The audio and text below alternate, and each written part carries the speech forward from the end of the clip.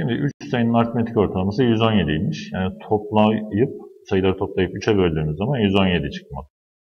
3 üzeri x artı 3 üzeri x artı 1 artı 3 üzeri x artı 2 bölü 3 eşittir 117 olmalı. Şunların hepsinde 3 üzeri x var. Parantezini alabiliriz.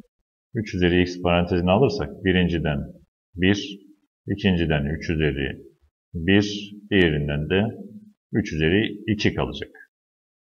Bölü 3 eşittir 117. Şimdi 3'ün karesi 9, 10, 13 yapar.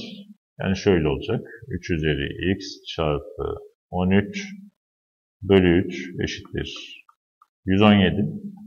Şimdi 13'e bölebiliriz ya da şöyle içler dışlar çarpımı da yapabiliriz. Paydası 1. Şöyle çapraz çarparsak şöyle yukarıdan devam edelim.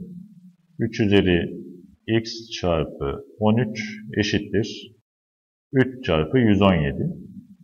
Şimdi 13'e bölelim her iki tarafı. Şöyle. Buradan 13'ler gidecek. 117'yi 13'e bölersek bu 7 geldiğine göre 9 olabilir. 90, 9, 18, 27, 117 veriyor. Şurası 9 olacak. Yani 3 üzeri x eşittir. 3 çarpı 9 bu da 27 yapar. Ki bu da 3'ün kübü olur.